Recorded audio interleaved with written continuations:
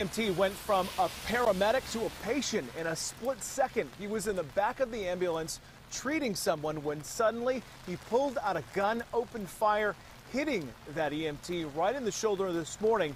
He's here at the hospital where he works, continuing to recover. Police tell us the suspect has been identified as Thomas McCauley.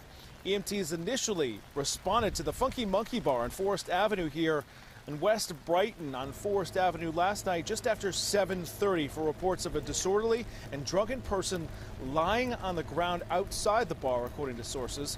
As those EMTs were bringing the 37-year-old to the hospital for treatment, McCauley then woke up, pulled out a 38 caliber revolver and pointed it at the EMT in the back according to investigators. It's unclear why, but the man then fired one shot in the ambulance, hitting the 25 year old EMT who then wrestled to disarm the man.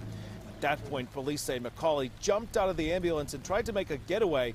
Turns out he didn't get far. The male was quickly apprehended by a retired NYPD detective and an off duty Department of Sanitation Environmental Protection hazmat lieutenant.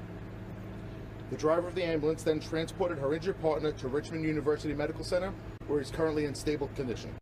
Police say this is the gun they recovered from the scene, a 38 caliber revolver, and Rumsey confirms the EMT works for the hospital. He is listed in stable condition this morning. As for Thomas McCauley, he was at the local police precinct this morning, awaiting to be transported to court where he is uh, facing charges in connection to this shooting.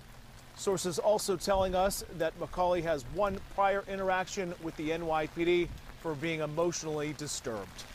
Reporting from West